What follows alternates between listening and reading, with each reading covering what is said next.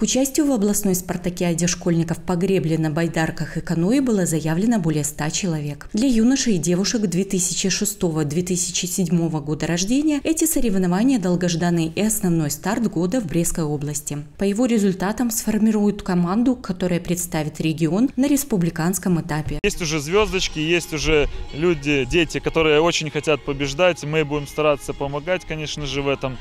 Э, хорошая погода у нас, попутный ветер, чего всегда всем желают у нас. Значит, и время будет хорошее, и результаты будут, я думаю, достойные. Главное, чтобы ты настроен был на э, подготовку, победу.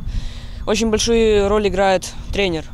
То есть это тот человек, который тебя может поддержать и рассказать, как работать, как не сдаваться. Ну и самому надо развиваться еще силу и выносливость. Правильная подготовка, боевой настрой и сплоченность – немаловажные факторы для победы в командном зачете, на который претендовали Брест, Пинск, Пинский и Березовские районы, а также Кобрин. В первый день участникам предстояло преодолеть длинную дистанцию 1000 метров для юношей, 500 для девушек, во второй – короткую 500 и 200 метров соответственно. Когда мы ездим, надо выкладываться, не волноваться, надо себя чувствовать комфортно.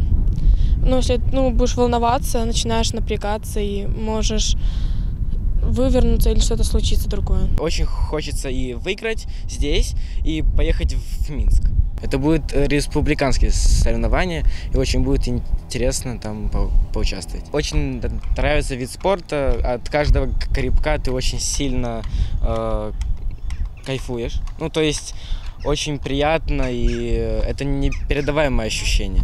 По результатам спартакиады в острой борьбе сумела одержать победу команда из Пинска. А лучшими в заездах второго дня стали Владислав Антонюк, Анна Маржина, Дмитрий Линкевич и Станислав Паршутич.